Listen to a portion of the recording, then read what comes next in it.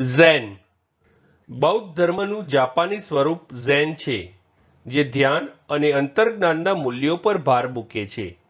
Zen શબ્દનો બીજો અર્થ શાંત અને શાંતિપૂર્ણ પણ થાય છે.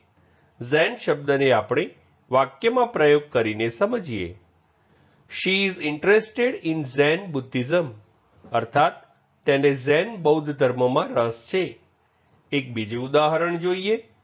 The teachings of Zen were encapsulated in short statements. અર્થાત ઝેનના ઉપદેશો ટૂંકા કથનમાં સમાવિષ્ટ કરવામાં આવ્યા હતા.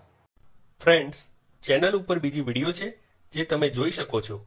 અને ચેનલને લાઈક શેર સબસ્ક્રાઇબ અને કોમેન્ટ કરવાનું ભૂલશો નહીં. Thank you